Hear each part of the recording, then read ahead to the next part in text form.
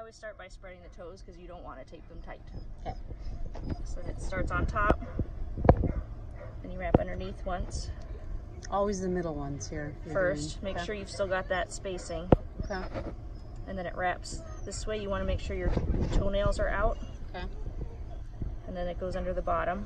And are you catching the big pad or no? No, you don't want to tape the big over the big pad.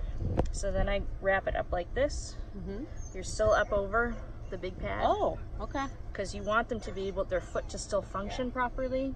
Where this is separated from the big pad. Totally, yeah. If you're taping for dry conditions, it's different than you're covering the pad, but it's a different taping.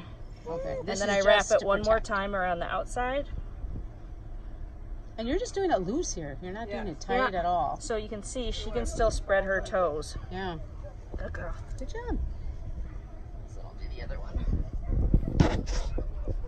Wow. And then that's enough just to kind of keep them from getting Yep. caught? Is Yep. that the whole thing? It stops if they have a ligament that's loose. It stops it from pulling it out too far. And That's exactly what she did. so again, spreading the toes out. I do it with my fingers underneath. Okay. She's doing. She's she's easy to tape, by the way, for never having this done. Sometimes they fight with me. Okay, well, good. I'm glad you're being a good example, too. The only other thing you got to watch is if she's going to be added in the car. Oh, she bites on it and stuff? Yeah. Okay.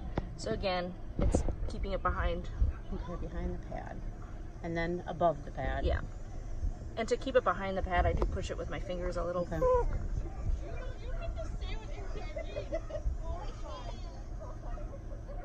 And then let's just see what it looks like on this.